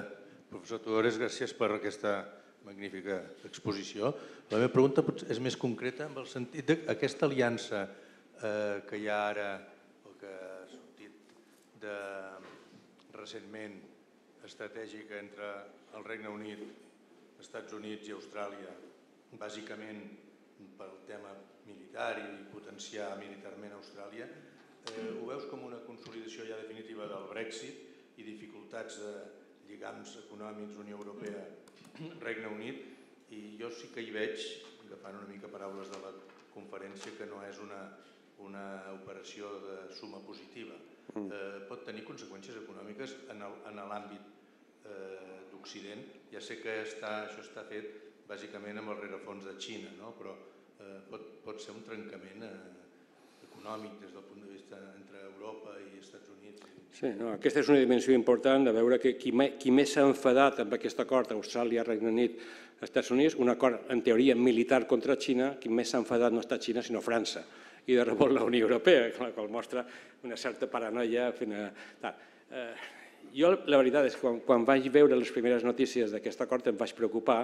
perquè al meu entendre aquest acord no és un acord de suma positiva, sinó un acord de suma zero negativa. Però mm, quan em vaig eh, tranquil·litzar, i potser m'equivoco per ingenuïtat, quan vaig veure els mitjans de comunicació que també sortia, però que els mitjans no se'n feien ressò, que l'opinió pública, les xarxes socials, no es feien ressò, que al mateix temps, al mateix temps que signava, es deia que signava per aquest acord eh, militar contra eh, Pequín i deixant fora la Unió Europea, que això se'n va parlar molt, mateixes, les mateixes dates sortia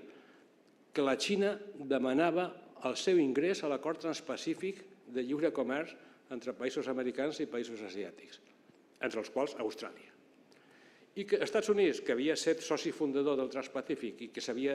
retirat i ara diu que vol tornar a entrar. Escolta, esperança. Hay esperança. Si els australians s'uneixen als Estats Units per comprar-li un submarino nuclear i amenaçar el mar de la Xina i tal, això, però al mateix temps els australians voten a favor de que la Xina s'incorpori a l'acord del Transpacífic, escolta, guanyarà a l'acord transpacífic per sobre de qualsevol altra consideració. Eh? I si els Estats Units s'ho repensa i diu, escolta,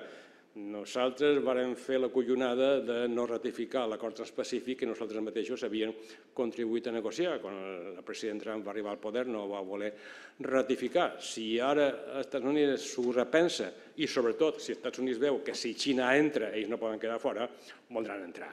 I em vaig quedar molt més tranquil de veure aquestes notícies amb el seu conjunt, de que al final l'economia, jocs de suma positiu, els negocis, el business en aquest cas, dominaven les eh, diguem, eh, d'un submarí, d'una contractació de, de submarins. Potser m'equivoco i demà passat tenim un incident nuclear amb aquests submarins, però mm, que, em, vaig, em vaig quedar més tranquil amb la imatge completa dels acords econòmics passant per sobre o modulant si més, més moderats els acords político-militars. Molt bé, gràcies. Anton Gasol. Primer de tot, felicitar el president Arruga i a la Junta de la Societat Catalana d'Economia, de la que m'honro està des de fa molts anys, per haver convidat el magnífic professor Joan Tugores a fer la conferència inaugural. Jo crec que fan recuperar el gust per escoltar. Eh, voldria traslladar un tema. Ell, un de les, de les coses que posava del, del, del BIS era plan d'èxit i més enllà del, de la crisi del Covid, que sembla que estem en camí de sortir-nos-en, hi ha un cert acord generalitzat de que, veu, de que hi ha una crisi superior des del punt de vista dels seus efectes macroeconòmics, que és la crisi climàtica. I en aquesta línia, eh, per no parlar d'altres coses, una de les decisions del Consell de Govern del Banc de l'Eurosistema del juliol d'enguany, un dels punts, si no recordo malament el 10, diu que prendran una decisió en relació al tema de frenar el canvi climàtic. I en aquest tema voldria entrar en una de les polítiques. Si del pan d'èxit una de les maneres de sortir-se ha estat aquesta política fiscal expansiva que s'ha fet generalitzada, també, des del punt de vista de crisi climàtica, sembla que una de les coses és, més enllà de l'avaluació de riscos de les entitats financeres, etc., són la compra de bons públics i privats per part dels bancs centrals europeus i, en aquest cas, concretament del Banc Central Europeu. En aquesta línia es veu que hi ha una certa discordància entre el que és crisi, eh, lluitar contra la crisi climàtica i la política del Banc Central Europeu perquè els més beneficiats són aquelles corporacions que emeten bons, obligacions, i que justament són les més emissores de CO2 energètiques i d'altres sectors dels, dels més emissors de CO2. I en canvi,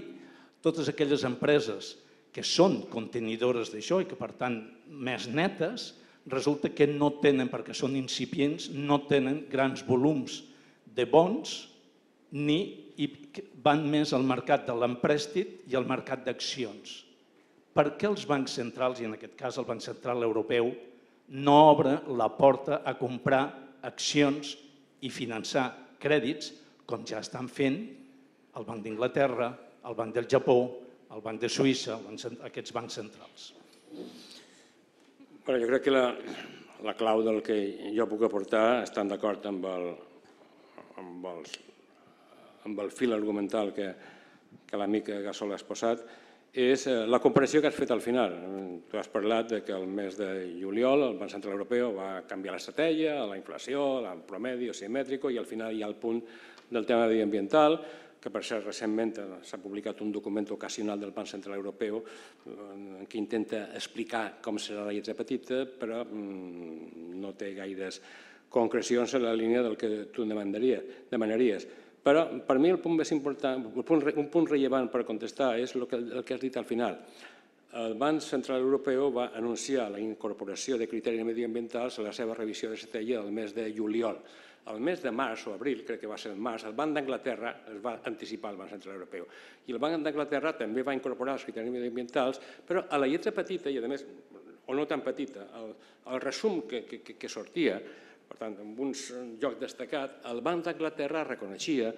que un dels obstacles a superar perquè aquest compromís mediambiental fos efectiu seria tenir un llistat molt clar de contraposició d'interessos entre els directius de les principals empreses, moltes vegades en presència organismes eh, de govern eh, en pes polític i eh, les empreses emissores de contaminació en contraposició a les empreses més, més sensibilitzades a la, a la línia que tu has comentat. A mi m'agradaria, i el document que s'ha publicat ho, ho he mirat en diagonal però no ho he vist, a mi m'agradaria que el Banc Central Europeu reconeixés que perquè sigui creïble aquest compromís mediambiental, han de ser clars i transparents els compromisos d'eventuals contraposicions d'interessos entre els receptors de les compres de títols eh, privats i participació en empreses amb diferents grans graus d'emissions de, de, de contaminants. Alguna cosa s'ha fet. El, el Boletí Econòmic del Banc Central Europeu ha publicat algunes coses embrionàries, però no ha arribat al nivell de detall que sí va arribar al document del Banc d'Anglaterra en què es parlava d'identificar quines persones s'haurien de, eventualment, fins i tot abstenir-se amb algunes votacions perquè podien estar marcades pels interessos de, de, que tenien, que, que els hi marcava el participar en algunes empreses. Òbviament, perquè el Banc Central Europeu és més tibi, tebi que, que, que, que, que el Banc d'Anglaterra o el Banc de Japó, com tu dius, perquè el Banc Central Europeu ha de fer uns equilibris a moltes bandes i, i no pot matar tot el que és gras, almenys en un primer moment. Per tant, eh, a mi m'agradaria que amb el pas del temps eh, aquest compromís mediambiental del Banc Central Europeu se n'és decantant i per no fer volar colom amb una línia similar al que ha fet el Banc d'Anglaterra, no, no demano més. És políticament més complicat, eh, però problemes té la senyora Lagarde per guardar l'equilibri entre halcones i palomes, com per entrar en aquesta qüestió, i per això mm, segurament haurem de tenir un temps de, de certa, un temps de certa ambigüitat i esperem que amb el pas del temps la, la lletra petita dels compromisos es, fa, es vagi feient efectiva. No? No seria capaç de ser més concret. Pere Puig. Pere Puig. Um, se sent? Sí. sí. Uh, em penso que me'n puc dir, uh, Joan Tregores, uh, que uh, m'enduc a casa moltes coses per reflexionar de la teva intervenció tan àmplia. Uh, seguint el discurs que tu has fet i que compartim segur que tots, de que l'obligació dels economistes al reflexionar és assessorar o, o discutir eh, temes d'economia internacional de l'abast que estem assenyalant és tenir sempre present que hi ha que recomanar, eh, té el poder de decisió, que prengui l'òptica de les equilibris de suma positiva de què has parlat àmpliament. El que passa és que això es pot dir eh, i, i, i s'ha d'escriure eh, defensant-ho, però cal veure després si eh, la societat famílies, les empreses que viuen, en el cas concret d'Espanya, situacions complexes, eh, realment entenen que aquest futur eh, que en aquest moment eh, des de la Unió Europea els dona una visió de compartir recursos, endeutament, eh, alliberant marges restrictius que hi havia hagut el passat, els assegurarà una recuperació sostenible i compartida. Jo sobre això tinc realment eh, que dir que el grau de cohesió i de comprensió eh, política en el país en temes que la gent és sensible, com el medi ambient o l'equilibri social o, o ajudar les famílies i empreses més detanyades per la crisi pandèmica profunda que estem vivint, els portarà a un futur que realment pugui eh, assegurar no tan sols la sortida d'aquesta situació amb més expansió de recursos públics i ajudes en projectes que no tots seran potser el que un desitjaria, però que en, definitiva són projectes importants, eh, si això no obligarà després a passar o incórrer en una factura eh, endeutament i per tant de tipus d'interès en èpoques diferents de les actuals en què endeutar-se en els mercats avui en dia no és una complicació. Alguns preveuen o preveiem que aquesta situació pot arribar a ser molt dura. Llavors, la confiança en els polítics aquí, a tot arreu, és essencial en un moment així i la credibilitat d'aquest tipus de polítiques està en joc. Eh, necessitaríem, també amb el tema del medi ambient, evidentment, eh, més eh, cohesió des d'aquest punt de vista. Jo no sé com veus tu aquest futur de la recuperació en un moment en què sortirem o hem de sortir i equilibrar els comptes públics.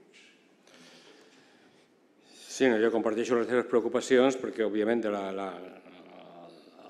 la, la resposta inicial de les polítiques públiques, Espanya i tota Europa i tot el món ha estat molt expansiva, no es discutia, les urgències manaven i el que ja es va començar a discutir fa un cert temps i ara s'està continua la discussió és eh, com reabsorbirem tot aquest volum enorme de deute gegantina que hem posat en, en circulació. Perquè l'argument tradicional, tradicional dels darrers eh, pocs anys, de que com els tipus d'interès estaven històricament baixos, encara que el volum de deute pugés, la càrrega del deute es mantenia estable, que això ha sortit, amb aquest repunt de tipus d'interès que ja ha començat als Estats Units i a nivell mundial, aquest argument tranquil·litzador també s'està esveint. I, per tant, tenim un problema de fons que és la, la, la sortida d'una situació d'endeutament eh, excessiu. I quina és la meva resposta per intentar, i òbviament coincideixo amb tu, que eh, fer bé aquesta sortida ens juguem la credibilitat enfront de l'opinió pública, enfront de la ciutadania, perquè si per reduir el deute públic cal pujar impostos, retallar despeses, etc etc, tornarem a tenir el que va passar l'any 2011, 2012, 2013, més benestar social. Eh, quina és la via d'optimisme? La via d'optimisme que derivaria dels missatges que he intentat posar és recordar, recordar que en aquest famós període, el període de l'any 45 i els anys principis dels 70, aquest període, aquest període va començar amb un volum d'endeutament públic que era el màxim històric fins fa quatre dies. No tinc aquí, però podria buscar el pen, però el volum d'endeutament públic respecte al PIB de l'any 1945 pel conjunt d'economies avançades era el màxim històric. I aquest màxim històric l'hem igualat el 2020-2021. Però, eh, i per tant, què vull dir amb això? que una de les fites del Bretton Woods, que va sortir bé malgrat totes les crítiques, és que entre l'any 45 i principi dels anys 70 el volum de deute públic respecte al PIB va conèixer una davallada espectacular, una davallada històrica i una davallada compatible amb taxes de creixement les més grans de la història de la humanitat, els felices anys 60, taxes de, mai igualades. Em refereixo a nivell del conjunt de les economies avançades. I, per tant, aquest episodi històric, post-Bretton Woods, aquest episodi que hi ha aquí darrere, que ens demostra? Es demostra, en un cas històric important, que la darrera vegada que el deute públic respecte al PIB va ser tan alt com ara, els 25 anys següents es va reduir aquesta taxa de forma tranquil·la, de manera compatible amb un elevat creixement. I per què va ser possible això? Primer, perquè les regles del joc de Bretton Woods van permetre un cert dinamisme amb estabilitat, cosa que és important. I segon, perquè per reduir, quan parlem de deute públic, o la càrrega del deute públic, sempre parlem, oblidem de vegades que la, la càrrega del deute és deute públic dividit pel PIB, o equivalent. Si un critica el PIB, o equivalent i que, per tant, per reduir la ràtio deute públic respecte al PIB es pot reduir el numerador o augmentar el denominador o una combinació de les dues. I, per tant, unes estratègies de creixement, no créixer per créixer, sinó un creixement tenint en compte les possibilitats enormes dels avenços tecnològics recents, que segurament haurien de portar a revisar el PIB o com més una l'activitat econòmica, però això avui no toca. Per tant, un creixement econòmic que faci més bon ús de les possibilitats tecnològiques pot contribuir a redreçar, aquesta, redreçar la, el màxim històric que ara ens trobem per segona vegada del deute públic respecte al PIB. I mm, per això és important que eh, el Bretton Woods nou, que jo reivindico, tingui aquesta combinació entre estimular el creixement econòmic amb la tecnologia moderna amb paràmetres de polítiques de cohesió social i redistribució que permetin eh, mantenir aquesta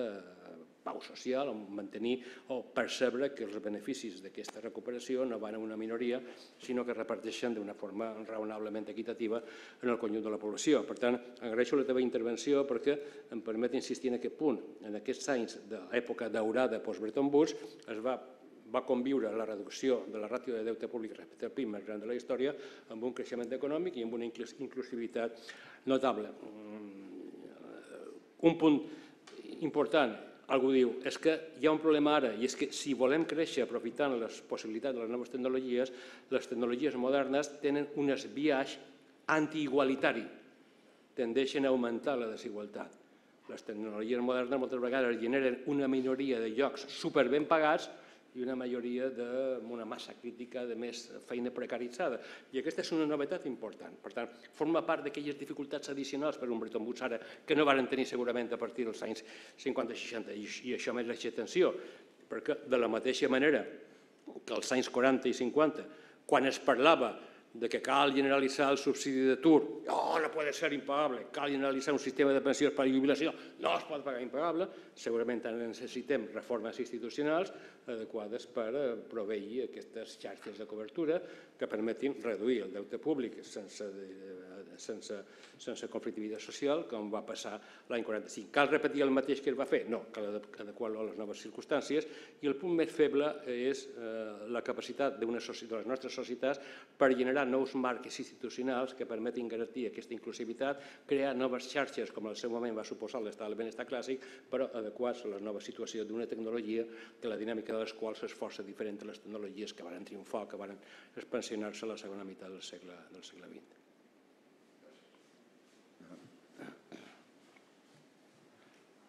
Val.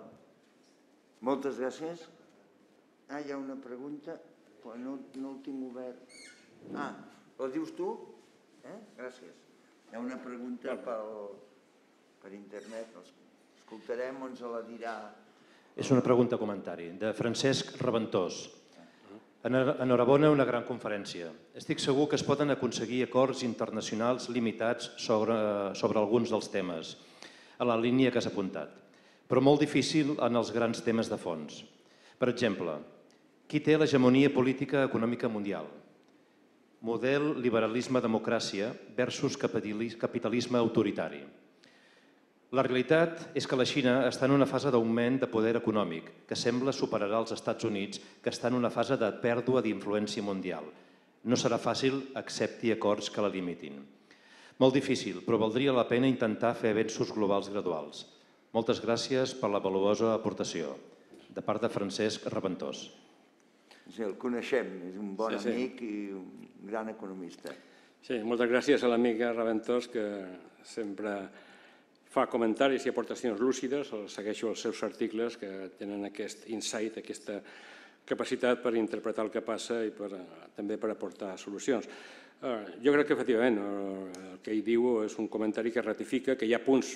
de coses indivisibles, qui mana al món, l'hegemonia política, que, que, que, bueno, que, que, que, en la qual és impossible passar-se que es posin d'acord els Estats Units i, i, i la Xina, perquè al capdamunt és com la classificació de la Lliga, de la Lliga o qui guanya la Champions, només hi ha un a dalt, a dalt, a dalt de, de tot. Però, mm, bueno, com ja s'ha dit, el que cal és que aquesta lluita per la posició més alta no destrueixi totes les possibilitats d'avenços, bàsicament perquè si els acords, si no hi ha acords i ens autodestruïm o ens fem mal entre nosaltres, qui mani sobre el món manarà sobre un món pitjor i més pobre que en el cas de que siguin capaços d'arribar a acords. Ha dit una cosa que planteja una qüestió molt delicada i, i no voldria defugir-la perquè és un tema que personalment em preocupa i em, me golpea. I és dir, escolta, com fer compatibles un, el que pot defensar als Estats Units, l'Occident, d'un capitalisme antes liberal, ara no tan liberal, eh, tal, amb un règim més bé autoritari per amb altra concepció del que són els drets humans o les llibertats individuals. bueno, jo crec que eh, hem de constatar que eh, en, en un món, bipol, en un món multipolar ningú, ni cap gran potència pot imposar a l'altre el seu punt de vista. Jo crec que són, estan encara recents els fracassos dels Estats Units d'imposar el seu model a determinades, determinades societats que han acabat rebotant, com hem vist aquest, com hem vist aquest estiu, i per tant el que jo proposaria, i el que proposo sobretot des del punt de vista europeu, és mm, dir, escolta'm, ni jo et vull convèncer tu, ni tu em convenceràs a mi. Què hem de fer? Hem de permetre que els models sociopolítics competeixen. Competeixen. I, escolti, un país tal dirà, escolta, als Estats Units li va d'aquesta manera, als xinesos se'ls va d'aquesta manera, als europeus se'ls va d'aquesta manera, i bueno, hi ha un, un mercat global de models sociopolítics i que i, clar, això seria un incentiu que fer que el nostre model funcioni per intentar que altres països s'apuntin o, o, o limitin. Uh, jo crec que aquí, a Europa, uh, quan de vegades ens queixem de que Europa, la Unió Europea, com li vulguin dir, està perdent presència i s'està convertit en un actor marginal eh, al concert internacional, de vegades, per mi, el més greu d'això no és que els europeus manem poc, això em preocupa relativament de forma insignificant. El que preocupa és que els valors que històricament ha representat Europa, que per mi es, redueix, es tradueixen en una afirmació, i és Europa Occidental, la Unió Europea, si volen, ha demostrat els darrers 50 anys que poden ser compatibles democràcia política en tots els defectes que vulguis, eh, progrés econòmic en tots els defectes que vulguis i estat del benestar en tots els defectes que vulguis, que aquestes tres coses, estat del benestar, democràcia política i un cert nivell de vida econòmica, aquestes coses podien conviure. I ara els europeus, els europeus i fora d'Europa, ens trobem que alguns ens diuen no, no, si vols créixer i viure bé, has d'oblidar la democràcia política, que seria el model xinès o altres es diuen, escolta, si vols créixer tal, i si vols tenir alguna democràcia política, encara que sigui manipulada, d'això de l'estat del benestar, com els nord-americans, escolta, això eh, no pretendis pagar un estat del benestar, que això ni els Estats Units poden. Per tant, se'ns vol convèncer que aquesta tríada virtuosa, estat del benestar, democràcia política i un cert nivell econòmic, que per mi és l'essència i l'actiu més important que té Europa, que això, eh, aquestes tres coses són incompatibles. Jo crec, per tant, que els europeus tenim una responsabilitat de demostrar que continuen sent compatibles no només per nosaltres mateixos, els europeus. Jo voldria que els meus fills i els meus nets visquessin en un àmbit en el qual hi hagués democràcia política, hi hagués prosperitat econòmica i hi hagués l'estat del benestar. Però més enllà del que ens interessa als europeus, de que el nostre model funcioni, eh, jo crec que Europa té la responsabilitat de que, que quan alguna nació, algun país, d'allà on sigui, busqui referències, digui, jo vull ser com Europa. Jo vull ser com Europa. No vull ser com Xina. No vull ser com els Estats Units, vull ser com Europa. I el que em preocupa de tot això, i sense donar noms, vaig tenir l'ocasió fa uns quants anys de conversar amb un polític que havia tingut altes responsabilitats a un país d'Amèrica Llatina,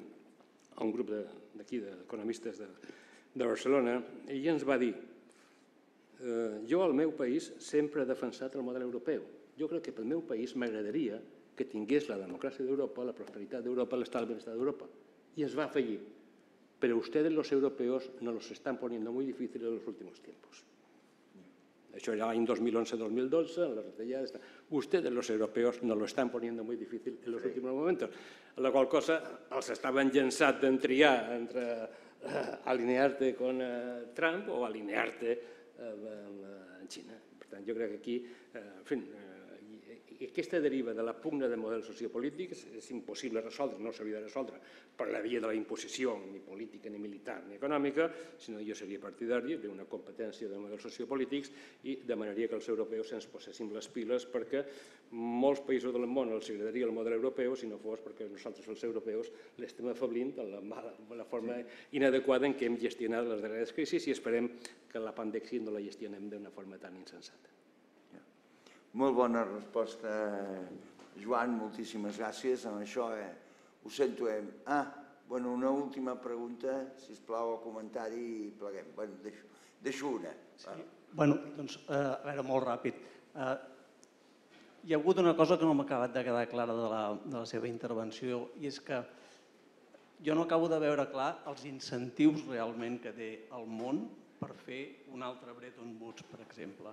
perquè si l'he entès bé, una mica els desencadenants d'aquest possible, d'aquesta aquest, possible situació en la que es pogués fer un nou Bretton Woods seria tant la pandèmia, una combinació de la pandèmia i el canvi climàtic. Mm. El tema de la pandèmia, jo penso que a Xina pràcticament podríem dir que hi han passat molt d'una manera molt superficial i als Estats Units els, els ha tocat, però tampoc no d'una manera molt profunda. I el tema del canvi climàtic, jo penso que ni Estats Units ni Xina estan per la labor de començar a reduir emissions. Vull dir, els últims anys, com a mínim amb el Trump, als Estats Units el que han intentat és recuperar indústria, fer més eh, explotació petroliera i a Xina claríssimament no estan per reduir les seves emissions. Llavors, l'incentiu perquè realment el món es trobi en un moment com el d'una guerra mundial en el que hi ha hagut una crisi prou grossa com perquè es faci un acord així, és el que jo, i és una opinió això, no acabo d'estar d'acord amb vostè. Yeah. Bueno, jo he de reconèixer que periòdicament tinc velleitat de tampoc estar d'acord amb mi mateix i no ser tan optimista i ser més bé pessimista, bàsicament perquè més o menys una traducció simple, senzilla del que vostè ha dit, seria, escolta, la magnitud d'aquestes dues caigudes és important, però ni de bon tros encara és aquestes. Per tant, el que deia la directora del Fons Monetari, la senyora Georgieva, de que estem en un momentum Bretton Woods, doncs potser encara no han caigut tan baix com per haver de reconèixer-la. De vegades tinc la tentació de pensar això. Però mm, torno a ser moderadament optimista, de veure, crec, pensar que pot haver més incentius del que pensem,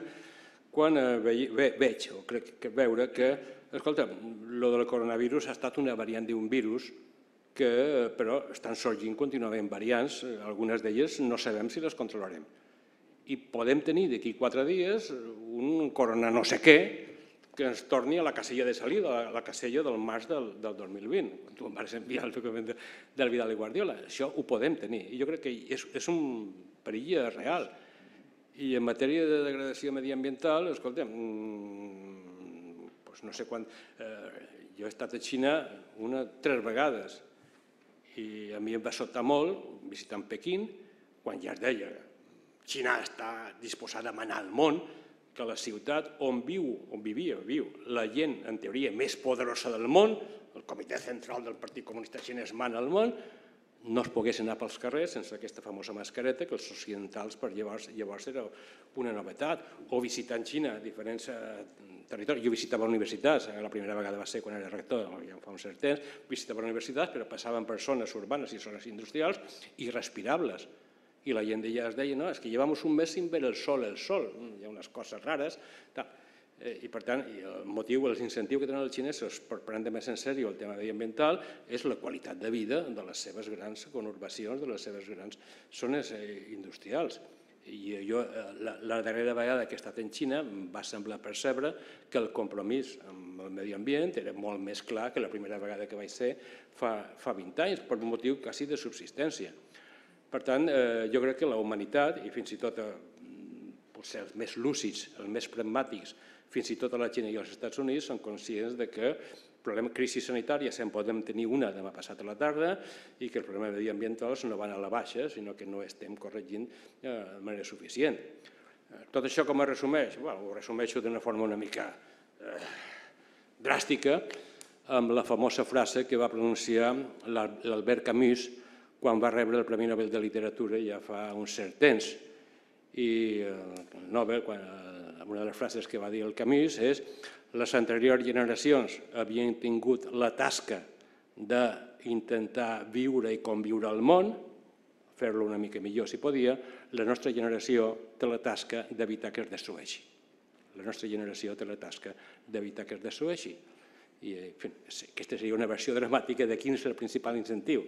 evitar que enemics invisibles com els virus, enemics que es desborden com la degradació mediambiental, es passi una factura que faci que la vida tant com l'hem conegut en aquest planeta s'alteri molt més profundament del que eh, haurien de ser capaços. Algú diu, escolta, és que els humans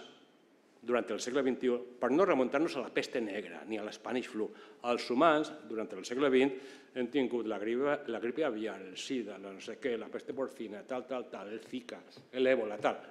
I de totes aquestes pandèmies, de tots aquests episodis, hem sortit bé i no els hem donat importància. Ara hem tingut en el darrer any i mig de certa importància. I dir, no, bueno, escolta, ja han sortit, eh, un any i mig, tio, al bord de l'abisme, escolta, eh, pues jo crec que, que hem de ser conscients de que hem sortit amb un cost important per los pelos i que hauríem de fer coses per evitar que demà passat a la tarda tinguéssim un altre, un altre sotrac, sotrac de què és. Pot ser? Mm, la humanitat no vulgui reconèixer això. I dicen, no, no, pues espero hasta mañana por la tarde a veure que vingui el sotrac i després ja m'ho veuré. Bueno, pues això és una, potser és una, un plantejament que jo intentaria convèncer els meus conciutadans de la humanitat que no esperem el proper sotrac, sinó aprofitem les lliçons d'aquesta. Però insisteixo, eh? Soc, sintonizo la seva sensibilitat perquè a estones jo mateix també les comparteixo. Moltíssimes gràcies. I no estava preparat, però la pregunta em condueix a parlar-vos del proper acte de la Societat Catalana d'Economia, que serà el dia 19 d'octubre, eh, si no m'equivoco, en aquesta mateixa sala, també serà híbrid l'acte, és a dir, presencial, us agraeixo la presència, i també serà telemàtic, pels que agraeixo els que s'hi apunten, han sigut gairebé uns 25 els que ens han seguit per, per telemàtic i m'han escrit dient que se sentia molt bé i que estaven molt contents de poder-hi participar i d'escoltar en el professor Joan Tugores, i el dia 19 d'octubre tenim una conferència de Jeroen van der Berg, que és un professor holandès especialitzat en, en ciència i tecnologia ambiental, tant a la Universitat de Barcelona com a la Universitat d'Amsterdam. Eh? I ens parlarà precisament de polítiques climàtiques compatibles